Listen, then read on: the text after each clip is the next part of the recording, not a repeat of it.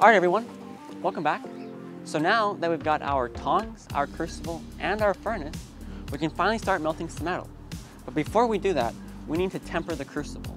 Because if we don't temper the crucible and put it in just the way it is, it might crack or explode. So, let's get started. On fire.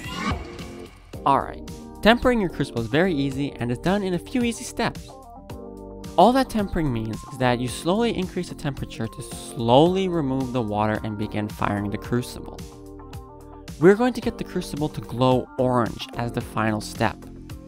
When the crucible is glowing orange, the temperature has reached about 1700 degrees Fahrenheit. So, to start the process, the first step is to heat it at a low temperature. I place my crucible in the oven at 200 degrees for 2 hours.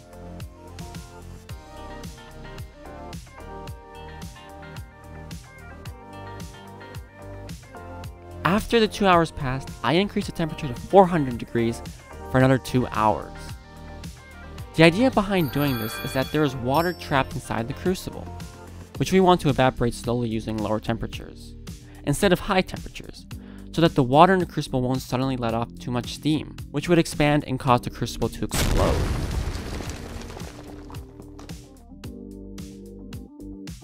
After baking the crucible in the oven for 4 hours, it was time to fire it up in the furnace.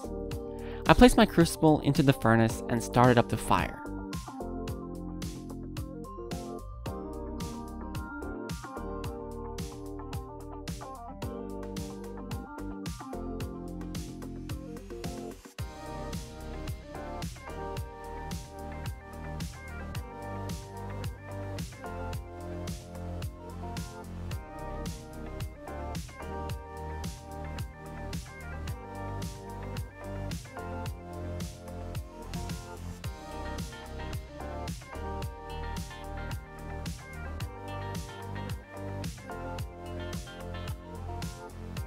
I continuously maintain the fire, watching it to ensure it is growing steadily and rising to hotter temperatures.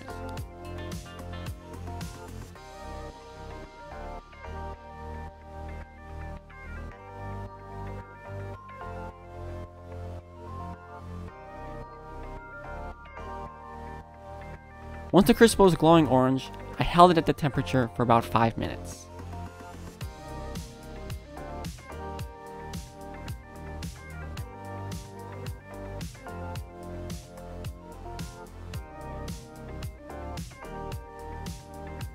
Once 5 minutes passed, I turned off the airflow to the furnace, letting the charcoal slowly burn out, while keeping the crucible inside the furnace to let it slowly cool overnight.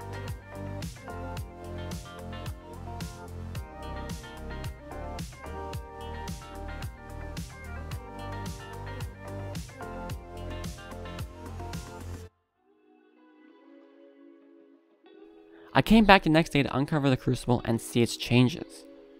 My crucible happened to crystallize on the outside, but other crucibles may have different reactions. And there you have it. Just with a little patience to temper it, we can make sure a crucible is strong under intense heat. After this super easy way to temper your crucible, it's ready to use. Alright guys, so wasn't that easy?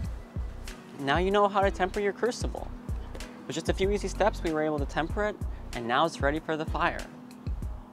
If you guys enjoyed this video, and you found it helpful, you can click that like button. You can even get subscribed. And I'll see you in the next video.